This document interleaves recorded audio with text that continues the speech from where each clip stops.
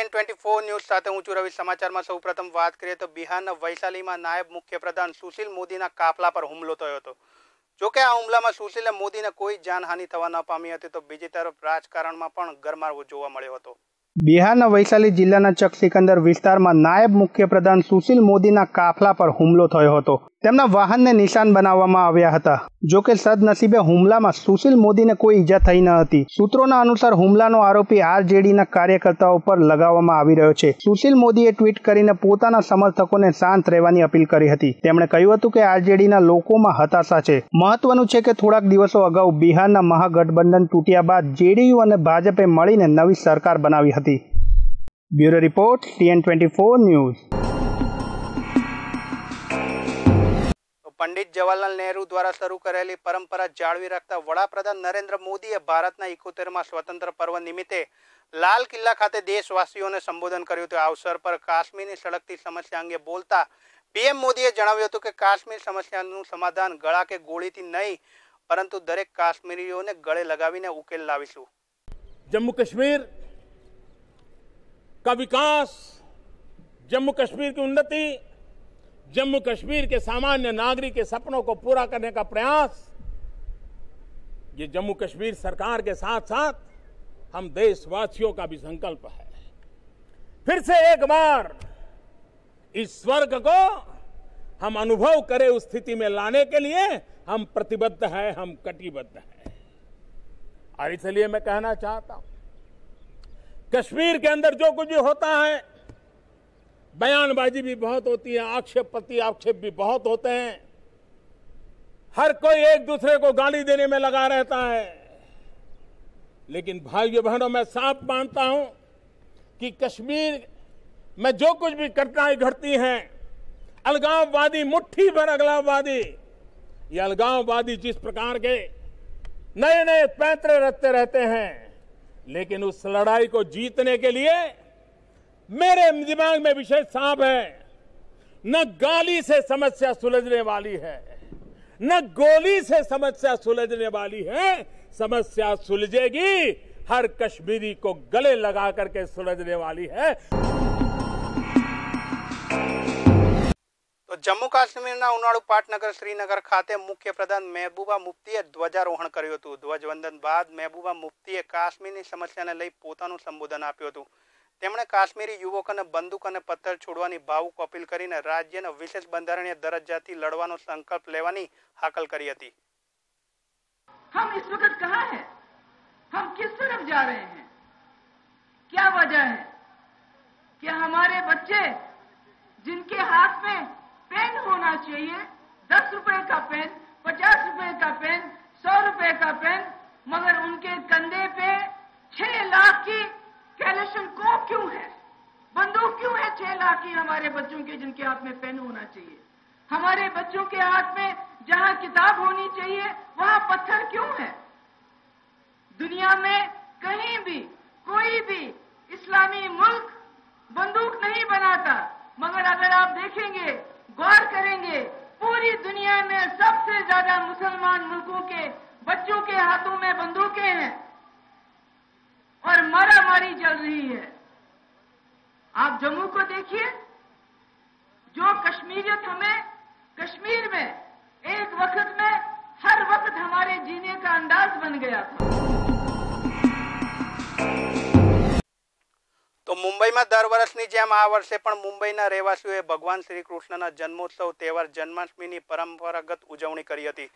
પરંતુ આ જન્મોત્સવ નિમિત્તે યોજાતા દહી હાંડી ઉત્સવમાં સામેલ થયેલા બે ગોવિંદા કિશોરના કરુણ મોત નીપજ્યા હતા. જ્યારે મુંબઈના જુદા જુદા બનાવોમાં એકસો સત્તર જેટલા ગોવિંદાઓ ઘાયલ થયા હતા. દર વર્ષની જેમ આ વર્ષે પણ મુંબઈના રહેવાસીઓએ ભગવાન શ્રી કૃષ્ણના જન્મોત્સવ તહેવાર જન્માષ્ટમીની પરંપરાગત ધાર્મિક લાગણી, ઉત્સાહ અને ઉમંગ સાથે ઉજવણી કરી હતી. પરંતુ આ જન્મોત્સવ નિમિત્તે યોજાતા મટકી ફોડ ઉત્સવમાં સામેલ થયેલા મુંબઈના પડોશના પાલઘર અને નવી મુંબઈમાં મટકી ફોડવા જતા પડી જવાથી ઘાયલ થયેલા એક ગોવિંદાનું મોત થયું હતું. જ્યારે મુંબઈમાં જુદા જુદા બનાવોમાં એકસો સત્તર જેટલા ગોવિંદાઓ ઘાયલ થયાના અહેવાલ મળ્યા હતા. ઇજાગ્રસ્ત ગોવિંદાઓને સારવાર માટે વિવિધ સરકારી હોસ્પિટલોમાં દાખલ કરવામાં આવ્યા છે. મળતી માહિતી મુજબ, હાલ હોસ્પિટલના ડોક્ટરે કહ્યું છે કે અહીં કેટલાક ગોવિંદાઓ ઇજાગ્રસ્ત હાલતમાં લાવવામાં આવ્યા હતા. એમની સારવાર લઈને એમને પાછા મોકલી દેવામાં આવ્યા હતા. Bureau report, TN twenty four news. તો અમદાવાદમાં સ્વાઇન ફ્લુમાં સપડાયેલ બાળકનું ઓક્સિજનના અભાવે એમ્બ્યુલન્સમાં મૃત્યુ થવાના મામલામાં સોલા સિવિલ હોસ્પિટલના સિનિયર ડોક્ટર મિતેશ રામવતીને સસ્પેન્ડ કરી તેમની વિરુદ્ધ કાર્યવાહી કરવામાં આવી હતી.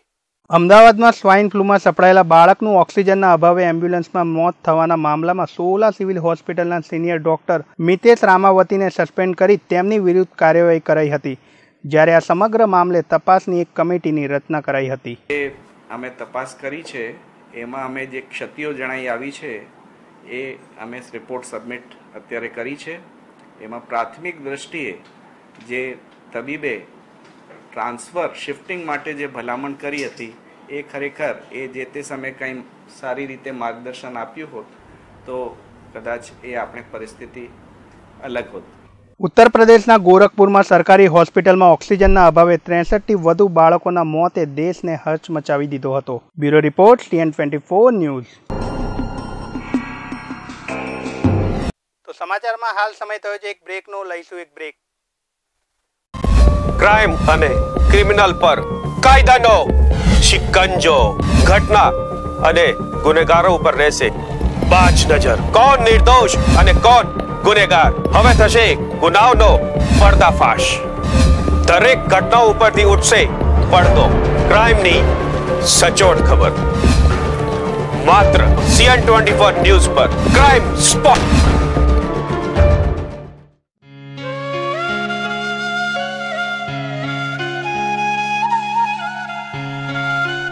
ખુલ્લામાં અને જાહેર માર્ગો પર કચરો એ બીમારીનું ઘર છે, જેનાથી કમળો અને મેલેરિયા જેવા જીવલેણ રોગો ઉત્પન્ન થાય છે, જે ચેપી અને વાયરલ રોગો છે. ત્યારે આ બીમારીઓથી બચવા સરકારના સ્વચ્છ અભિયાન સાથે જોડાવો. તેમજ ભીના કચરાને ગ્રીન ડબ્બામાં અને સૂકા કચરાને બ્લુ ડબ્બામાં જ નાખો. તમારી આસપાસ સ્વચ્છતા જાળવતા રહો, ખુશ રહો, સ્વચ્છ રહો અને જોતા રહો. CN twenty four news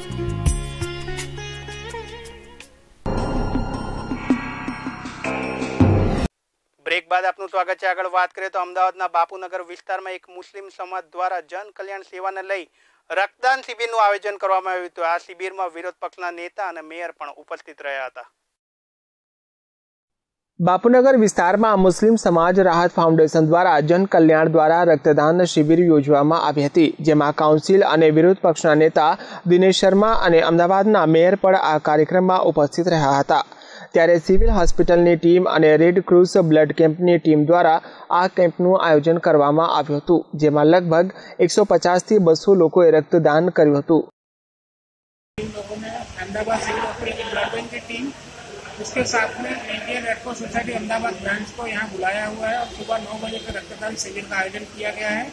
अभी तक सौ एक लोगों ने रक्तदान शिविर में भाग लिया हुआ है। दोनों टीम के साथ डिस्ट्रीब्यूट कर रहे हैं और ये जो ब्लड डोनेशन हो रहा है, ये राह फाउंडेशन के साथ जो लोग जुड़े वो लोग आ रहे हैं फैमिली के साथ आ रहे हैं उनके दूसरे सर्कल के लोग आ रहे हैं। और हर एक डोनर का यहाँ आने के टाइम पे फॉर्म भराया जा रहा है। उसमें उनका नाम एड्रेस पूरा ब्लड प्रेशर वज़न हेमोग्लोबिन चेक किया जा रहा है।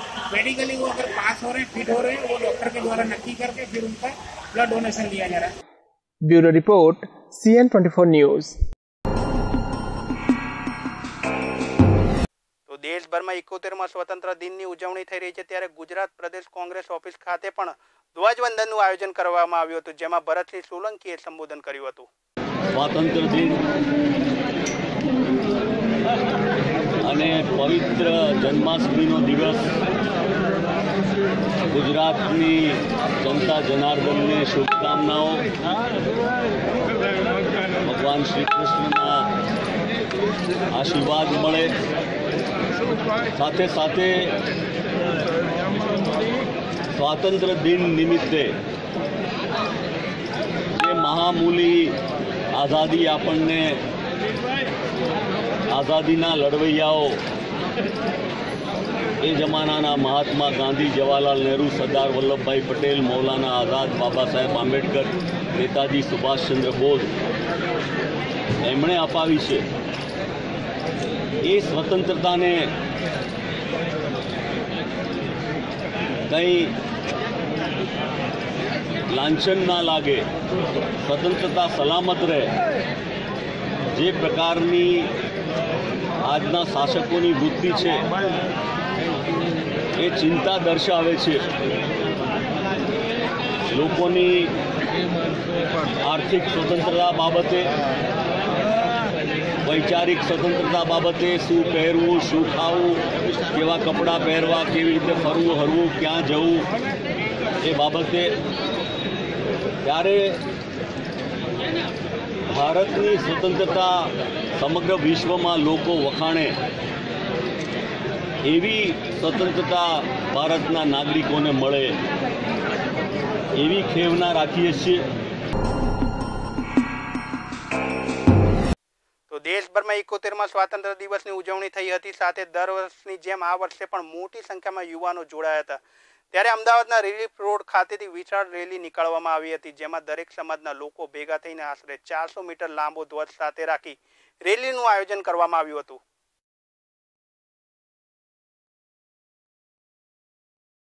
દેશભરમાં એકોતેરમાં સ્વાતંત્રતા દિવસની ધામધૂમપૂર્વક ઉજવણી થઈ રહી છે. ત્યારે રાજકીય નેતાઓની સાથે સાથે યુવાધન પણ દેશની આઝાદીની ઉજવણી કરી રહ્યું છે.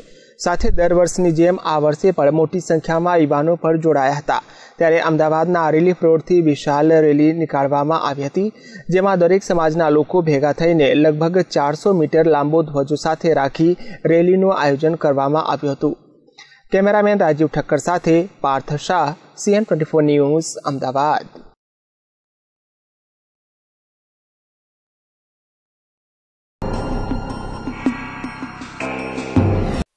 ભારતભરમાં કૃષ્ણ જન્મોત્સવની ઉજવણી થઈ હતી ત્યારે અરવલ્લી જિલ્લાના સુપ્રસિદ્ધ યાત્રાધામ શામળાજી ખાતે પણ વાલાના વધામણાની આતુરતાથી રાહ જોવાઈ હતી.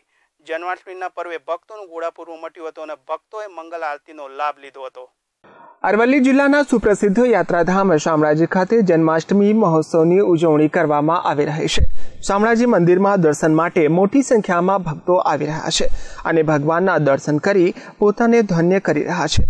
સાથે સાથે મંદિર ટ્રસ્ટ દ્વારા પણ તમામ પ્રકારની દર્શનાર્થીઓ માટે વ્યવસ્થા કરવામાં આવી છે અને આખો દિવસ અલગ અલગ કાર્યક્રમની ઉજવણી કરવામાં આવશે. સાથે મંદિરને આસોપાલવના તોરણથી શણગાર કરવામાં આવ્યો છે અને બપોરના સમયે વરઘોડા સાથે મટકી ફોડ થતા રાત્રિ દરમિયાન સાંસ્કૃતિક કાર્યક્રમો ઉપરાંત ઠાકોરજીનો જન્મોત્સવ ધામધૂમથી ઉજવવામાં આવશે. જન્માષ્ટમીના પર્વ નિમિત્તે આજે શામળાજીમાં ધામધૂમથી રંગે ચંગે જન્માષ્ટમીનો કાર્યક્રમ ઉજવવામાં આવશે. બરાબર સવારે છ વાગે મંદિર ખુલશે અને સાડા છ વાગે મંગલા આરતી થશે. મંગલા આરતી થયા પછી નવ ને પંદર મિનિટે શણગાર આરતી થશે. ભગવાનને ફૂલોથી શણગાર્યા છે. ભગવાનના આખા મંદિર અને સમગ્ર મંદિર પરિસરમાં આજે ધજા, પતાકા, તરિયા, તોરણ, ફૂલહાર અને તમામ સુગંધિત દ્રવ્યોથી મંદિરને સુશોભિત કરવામાં આવ્યું છે. બરાબર સવા બાર વાગે મંદિર ખુલશે, ભગવાનને રાજભોગ આરતી થશે અને બારને ત્રીસ મિનિટે મંગલ મંદિર બંધ થશે. ભગવાન ઠાકોરજી પહોંચી જશે. પવિત્ર યાત્રાધામ શામળાજી ખાતે જન્માષ્ટમી પર્વની તમામ તૈયારીઓ પૂર્ણ કરી દેવામાં આવે છે. સવારની મંગલા આરતી બાદ ભગવાન ગદાધર કાળિયા ઠાકોરનો ભૂદેવો દ્વારા વૈદિક મંત્રોચ્ચાર કરીને પંચામૃત દ્વારા ભગવાનનો અભિષેક કરવામાં આવે છે. આ પંચામૃતમાં ઘી, દૂધ, દહીં, માખણ અને સાકર જેવી સામગ્રી મિક્સ કરીને અભિષેક કરવામાં આવે છે. તેમજ દિવસ દરમિયાન આ તહેવારને ભાવપૂર્વક ઉજવવામાં આવશે. Rutul Prajapati, CN twenty four news Aravalli. હાલ સમાચારોમાં બસ આટલું જ. વધુ સમાચારો અને માહિતી માટે આપ જોતા રહો સીએન ટ્વેન્ટી ફોર ન્યૂઝ. નમસ્કાર.